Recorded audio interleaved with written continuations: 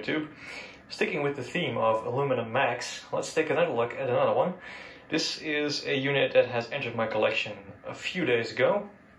This is a PowerBook G4. I've had a couple of these in the past couple of years and always ended up getting rid of them. But uh, I definitely want this one to stay in the collection.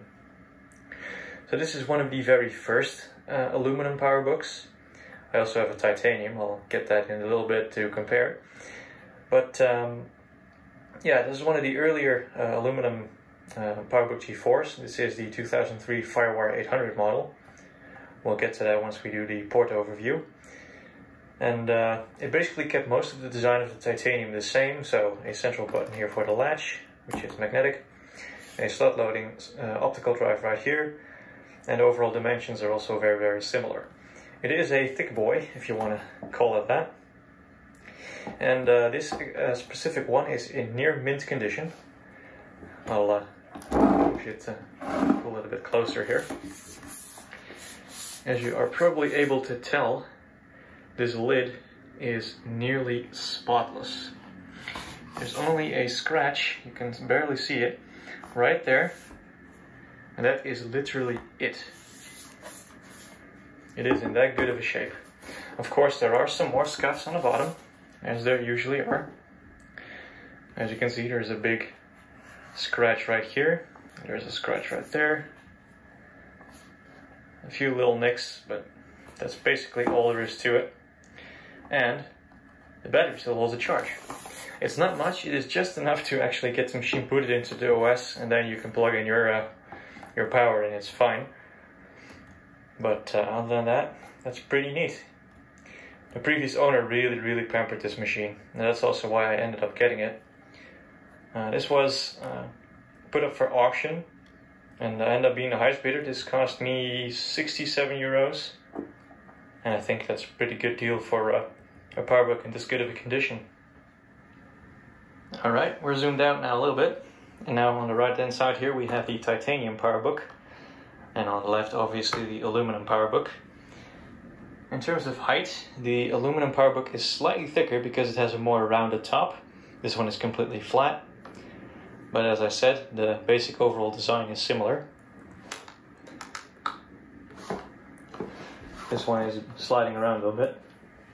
And again, magnetic latch. Also a 15 inch display. Let's take a look at the port selection. On the titanium PowerBook, obviously we get nothing. This is just, I think, an IR receiver of some sort. And uh, a vent and a Kensington lock. On the left-hand side of the PowerBook, G4 titanium, uh, I mean aluminum, getting them mixed around already. We get a vast majority of ports here Of course, on the titanium, they're on the back. On these, they are on the sides. We have a Kensington lock right there. USB 2.0, I think. Must be, in 2003. Firewire 400, Firewire 800, which designates the Firewire 800 model. Gigabit Ethernet, very nice. Uh, video output, I think it's S-Video. And here we have a DVI port.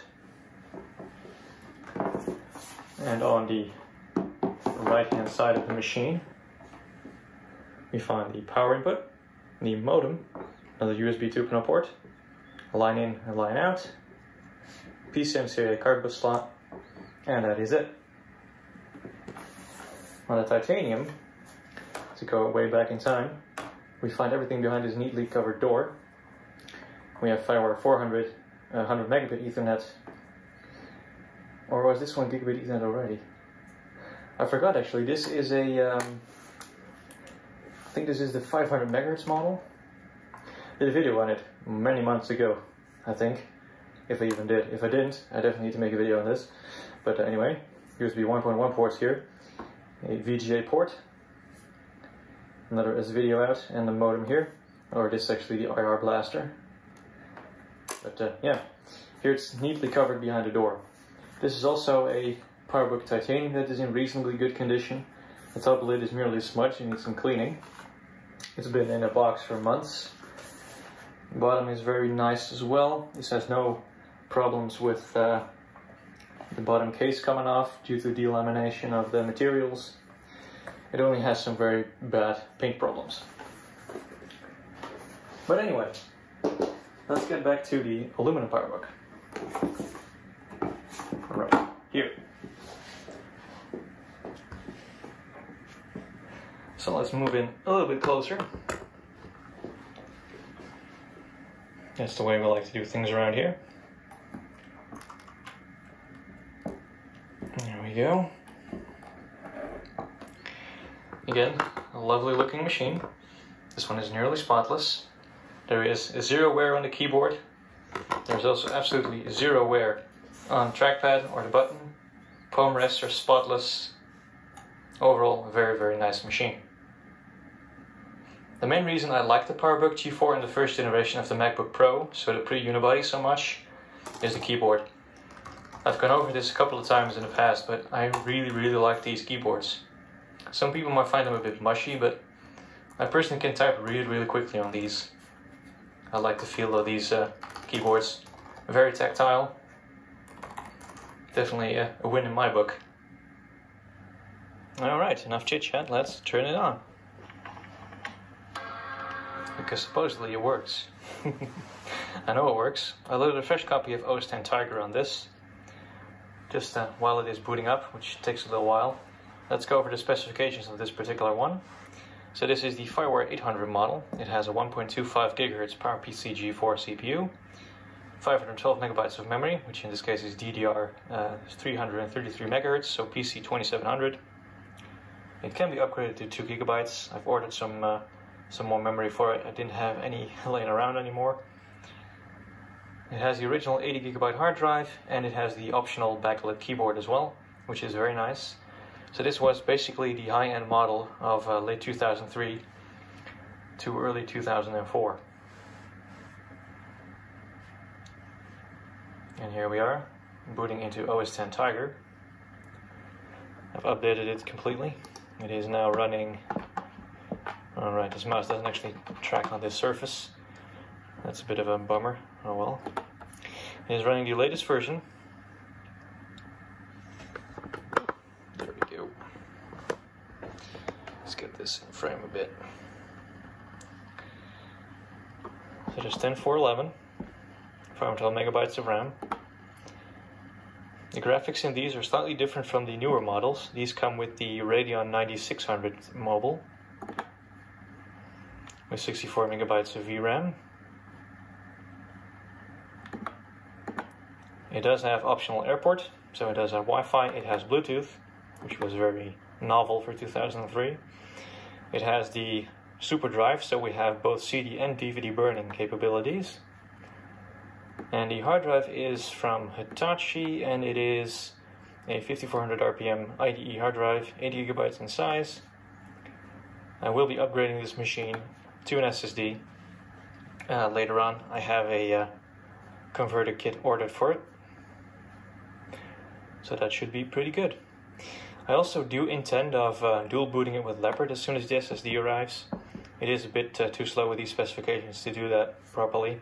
So once I have the RAM and the SSD, I'll uh, set up a dual boot between Tiger and Leopard. And uh, that should be pretty good. So just some uh, small test things here. Here, open up Word for Mac. This is Office 2004. Tiger will run up to Office 2008, but is really painfully slow on uh, basically any machine I've tried it on. Office 2004 is really a lot faster. And uh, yeah, it really shows uh, how badly optimized Office 2008 really was. But yeah, Word 2004 opens up reasonably quickly. Obviously, we have uh, the iLife suite. So we have iPhoto here. I've got uh, iLife 05 installed because that's what I have a DVD for. And that works nicely. And it doesn't seem to make that much of a difference which brightness I set it to.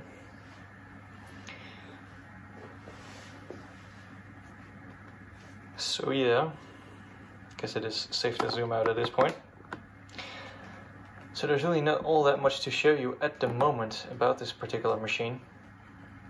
It is a very fresh install of Tiger, only installed it two days ago. And uh, it's running fine, honestly. Also installed Classic for OS 9 apps. They run fine. I've actually played some SimCity 3000 on this, which is not as bad as you'd expect. but uh, yeah, loading new websites with Safari 4 is absolutely a nightmare. Uh, I have TenFourFox there, but it's pretty slow. So this is not really a machine that you can really still use for some things. One thing it is amazing for, like I said, I really like this keyboard, so typing on it is great. But uh, other than that, it's really relegated to running old games or old apps. But going online is definitely not one of its strong suits anymore. But hey, it's 17 years old at this point, so what would you expect, right? And I think that basically concludes the video on my new 15-inch PowerBook G4 FireWire 800 model. I hope you all enjoyed this video. I thank you all for watching, and I'll see you guys in the next video.